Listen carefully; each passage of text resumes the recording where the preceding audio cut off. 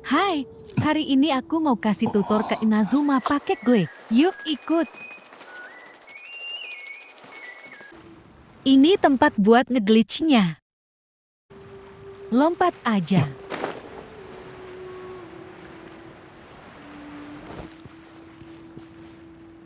Kalian harus berdiri di tengah di antara dua dinding ini. Pakai mode jalan aja ya, biar gampang. Kalau udah pas, ayo kita mulai. Bak- Pertama tandain statue di Inazuma. Kita pilih yang ini aja. Ikuti. Selanjutnya buka menu Paimon terus kamera. Masuk ke pose, pilih pose selain berdiri. Tekan kembali terus lompat. Oke, percobaan pertama gagal. Kita terlalu dekat dengan tembok. Mari kita ulang. Lompat dulu deh buat cek. Udah aman. Menu Paimon, kamera, pose. Kembali, lompat. Paimon, kamera, pose. Percobaan kedua gagal kita terlalu lambat berpose. Percobaan ketiga. Ia masih lambat.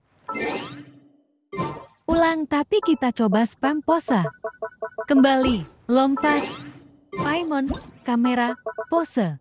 Mas Haye tidak melompat. Kita berhasil. Tahap akhir kita ke pose berdiri terus pindah ke pose lain lagi.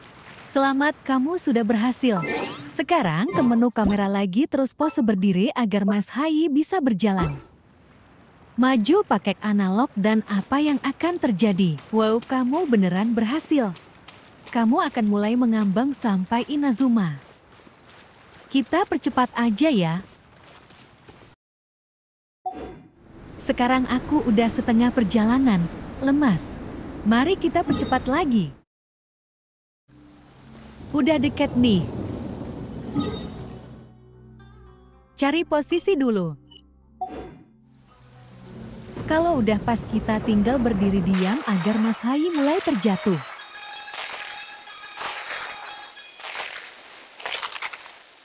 Lama juga ya.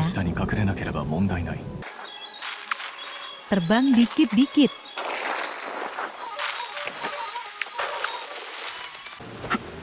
Nah itu statunya udah terlihat.